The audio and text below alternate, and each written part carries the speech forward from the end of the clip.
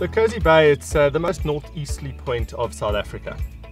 It is part of the Isimangaliso World Heritage Area, which was declared a UNESCO World Heritage Site.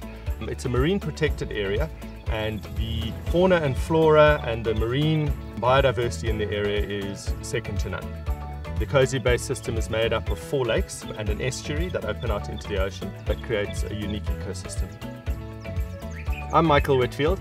So about uh, 10 years ago, my father moved up to the Kosi Bay area. He had a, a, meeting with the local Induna chief and they signed a long-term lease on the property. This property is owned by the uh, local community and uh, we now run a very successful tourism operation that proves the value of uh, business and community working hand in hand. My name is Enoch Tembe. I'm a manager of Utshwayelo Lodge think between the community and the lodge, it's very important. Uh, we, we see it working very well together. If you're supporting uh, Utshwayelo Lodge, you're not supporting us as individuals, you're supporting the whole of the community, which they have seen the benefit, which if you'll see them, you'll see the enjoyment to have you in Mountain with Utshwayelo Lodge. There's a huge variety of uh, activities that our guests can look forward to. We have a pontoon style boat that we take out on the lakes. It will show you the three lakes. You go on the meandering channels. You get to see the fish traps, how they work. Flamingos are often in the area as well. Stopping up at the mangrove forests for a bit of a snorkel. It's a lovely half day excursion that gives you a really good perception of the area.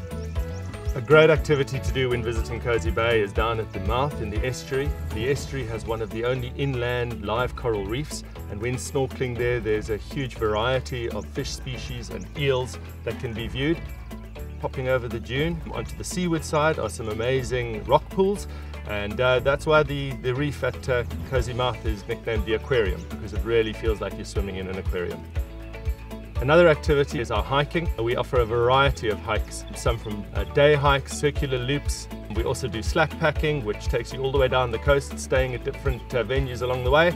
And you just carry what you need for the day. We'll transfer your bags and everything else and look after your meals. Crossing through five different biomes on the Zalandi hike, uh, up over the top of a 65 meter high dune and onto a pristine private beach is one of the highlights. Some amazing things to do is uh, the canoe trips on the estuary. The quietness and the pristineness of the environment is spectacular. We also offer great birding excursions both on the lakes, on the canoe trips and on the hikes. Uh, we've got some top lifers in the area and uh, we love you to come and find them. Do one of the fish trap tours where one of the local fishermen will take you down um, show you how they live and fish in these uh, ancient kraals. They've been doing it this way for hundreds of years in a, in a sustainable manner.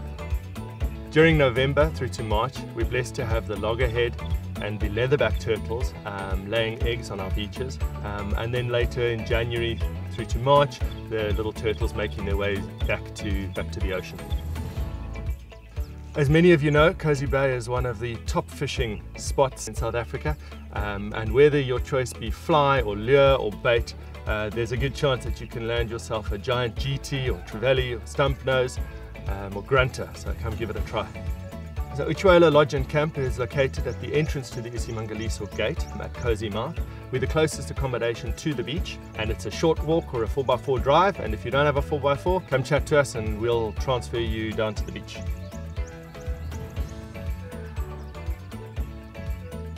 Our Tusker suites are beautiful, large, luxury tents, uh, Hollywood style beds, separate change area and bathroom, and a lovely outside shower uh, with a little patio in the front in a private area.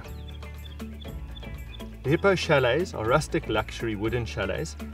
They come with either a queen or king bed, two single beds, ensuite with an outside private shower.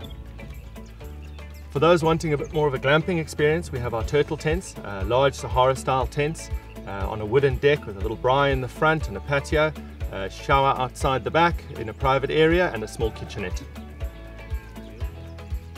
A true favourite amongst our guests are our pristine campsites. These are large private campsites with a reed kraal boma around them underneath big waterberry trees.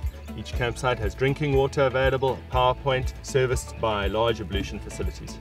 All our units offer both self-catering and catered options. When making your booking, you can choose which meals you want to have, and all meals are prepared fresh and with love. We strive to maintain a low ecological footprint. Uh, we run the lodge predominantly off a solar system with a battery backup. We use uh, minimal vegetation clearing and we try to use as much local building material as possible. So kick off your shoes and come and switch off one of Africa's best kept secrets. So we welcome you with a big smile. I hope you will have a lovely stay with us at Utshwayelo Lodge. We thank you.